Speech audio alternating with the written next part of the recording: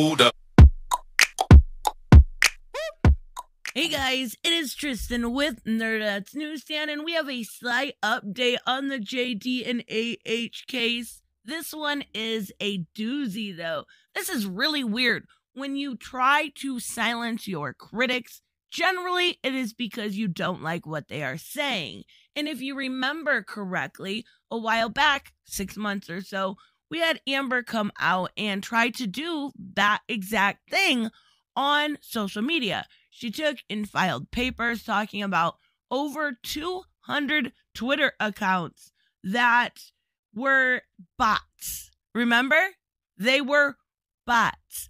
Everyone that was critical in those 200 accounts were bots. And we discussed this at length because the idea of really putting that label on something or someone, rather, is a little damaging. It seems like a coping mechanism, and it seems like that's exactly what she was trying to do. But now, now we actually have her naming people. And this came out a couple days ago, and I want to talk about it. But of course, if you are new to this channel and enjoy this type of content, hit subscribe. I make content every single day. Also, hit that like button. It helps in the algorithm. And with these videos, sometimes it's a little touchy. Leave me a comment down below. Let me know what you think of this.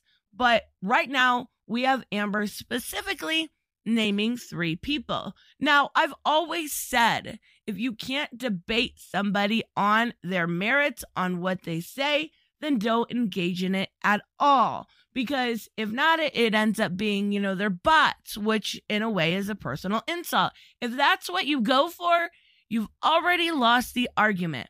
And now we actually have court papers of her coming out, and I'm going to read them to you. And it's pretty funny. As part of the campaign to smear Miss Heard, smear, not tell the truth. If you'll notice, the language says smear. Sure, Amber, the cope is real. Mr. Waldman and Mr. Depp also contacted the media to uh, falsely call Miss Heard a liar and a hoax artist. Now, have you proven that? Have you shown any proof of that? That it was specifically to call you a liar in a hoax office. Now we are a hoax artist. I'm sorry. Now we do know that Mr. Waldman did go to the media with some recordings and stuff, but was it for that reason specifically? Yeah. I don't think you're going to be able to prove your case. If you make big claims, you better have big evidence. Not only including the mainstream media, but also social media accounts, including that umbrella guy, that Brian fella, which on YouTube is known as Incredibly Average, and he does a great job. Both that umbrella guy and Incredibly Average have YouTube channels, and they do a good job of showing exactly what is going on. Now, for that Brian fella or Incredibly Average, at least on YouTube, from what I can tell, he's not near as active as what he used to be, but he does break down some of the conversations and puts a lot of his own time, a lot of his own blood, sweat, and tears into it. So to come out and say that it was just to smear her is ridiculous. And the real Laura B, which regularly attack Miss Heard. I love, love, love the real Laura B. She does a fantastic job of not smearing anyone. Sure, she may give her opinion and all of that, but what she actually does is get the court documents. She gets everything you need to know and keep up to date with the actual case. She doesn't smear anyone, she doesn't make it that way. She gives you the facts and she lets you make your mind up for yourself.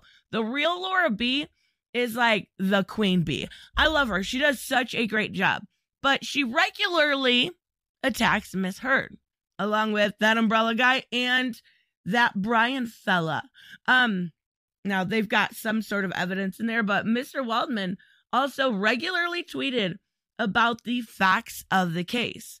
Well, at least she's calling them facts. I mean, I'm not sure that they actually meant to put that in there, but at least they're calling it facts.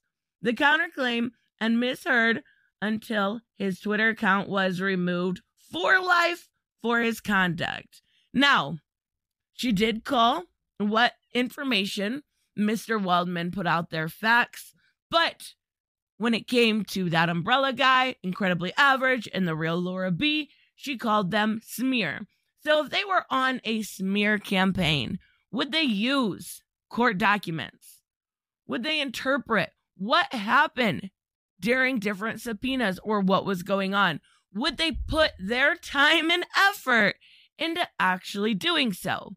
And honestly, I don't think so. I don't think that either, I don't think that any of these three have any malicious intent when it comes to this case. I honestly can tell you that I think if something insane came out and there was evidence that proved JD did this, now this is obviously not going to happen, but they would believe facts and evidence. I do. I really think so. I think that even when something doesn't look good for JD, they put it out there. So to go out and say that these three specifically are smearing them is ridiculous. No. I want to know what they have, what they're sharing in this case. I want to know if it's maybe videos, because as far as that umbrella guy, he does probably do an Amber Heard video five times a week. Like he really dives deep into there. And it was actually to a point where I couldn't keep up. So I kind of laid low on some of the legal stuff because as long as I knew the information was out there, I was okay with that. I was okay with realizing that wasn't maybe my uh intel where my intelligence lied and I'm okay with that. I'm a comic book person. Come on, give me a break. You want to know about Batman? I'll tell you. You want to know what Superman's weakness is? Sure, it's kryptonite. You want to know what an anti SLAPP law is? And I'm like, I'm gonna go to Google and yeah, I'm not much more useful than Google when it comes to that stuff.